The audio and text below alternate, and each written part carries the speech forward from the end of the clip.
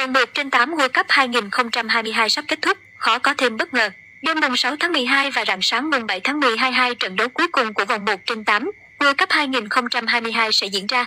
Nếu không có gì bất ngờ xảy ra, Tây Ban Nha và Bồ Đào Nha sẽ là những cái tên sau chót của danh sách các đội giành quyền vào vòng tứ kết. Đơn giản vì hai đại diện của bán đảo Iberia được đánh giá cao hơn hẳn Morocco và Thụy Sĩ.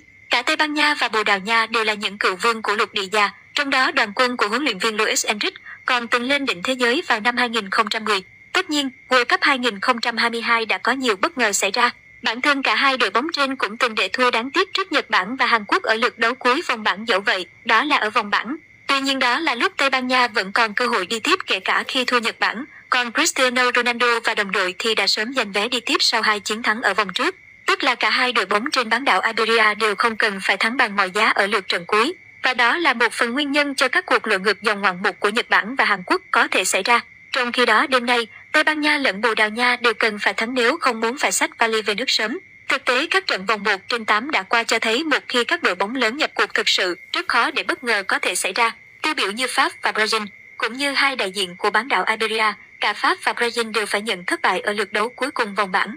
Tuy nhiên họ trở lại đúng với tư cách ứng viên vô địch ngay tại vòng 1 trên 8. Ba Lan dù đã thi đấu rất cố gắng song cũng chỉ làm khó. Được các nhà đương kim vô địch đến phút 44, trước khi Giro có pha chớp thời cơ rất nhanh để phá vỡ thế bế tắc cho tuyển Pháp. Và sau đó là màn trình diễn siêu hạng của Mbappe với một cú đúp. Tương tự như thế vào rạng sáng mùng 6 tháng 12, tuyển Brazil với sự quay lại của Neymar đã không cho Hàn Quốc một cơ hội nào để gây ra bất ngờ. Nhờ chất lượng đội hình vượt trội, các vụ công Samba nhanh chóng rót vào lưới đại diện Đông Á tới 4 bàn chỉ sau 36 phút bóng lăn. Đó chính là đẳng cấp của một đội bóng từng 5 lần vô địch World Cup, hay như Nhật Bản dù đã có bàn thắng trước nhưng vẫn để Croatia gỡ hòa. Đội bóng xứ sở phu Tan dù rất cố gắng sau đó nhưng trước bản lĩnh của đương kim Á quân thế giới cũng đành thúc thủ để dừng cuộc chơi sau vòng 1 trên 8.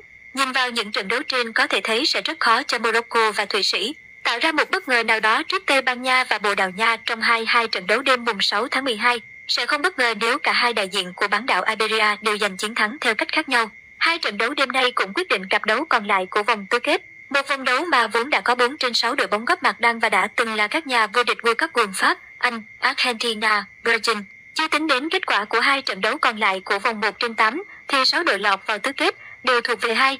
Khu vực phát triển bậc nhất của bóng đá thế giới là châu Á và Nam Mỹ trong đó có cả đương kim vô địch Pháp và đương kim Á quân Croatia. Cuộc đua vô địch năm nay có lẽ cũng vẫn chỉ là cuộc cạnh tranh giữa các đại diện tại hai khu vực này. Châu Á hay châu Phi, dù đã rất cố gắng và có nhiều thành tích vượt trội, song khó có thể thay thế được vị trí của hai khu vực nói trên trong một thời gian ngắn.